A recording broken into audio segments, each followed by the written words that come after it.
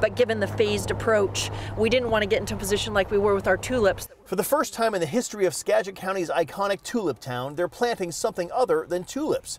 These fields now growing strawberries with the hope that someday soon the public can come pick them. It's economically extremely difficult to uh, lose 90% of your revenue, you know, in a month's period of time.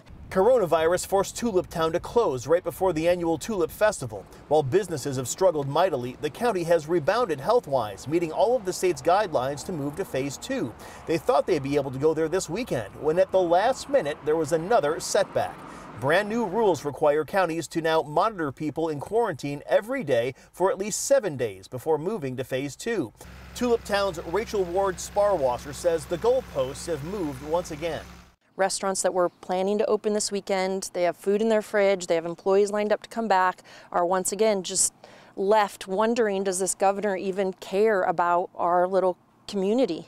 As of last week, no counties had to adhere to these stricter guidelines. In fact, the governor was loosening restrictions on King County while businesses up here remained closed. The question, why? Well, when the king speaks, the people listen. And I think, you know, certainly King County, Snohomish, you know, they got a lot of clout down in Olympia. Skagit County Commissioner Ken Dahlstedt says if businesses want to open now, local government won't stand in their way.